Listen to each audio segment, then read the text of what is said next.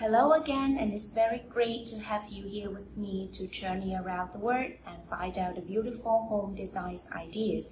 Hopefully, my channel will provide you with abundance of inspiration for your old home. So now, let's get started.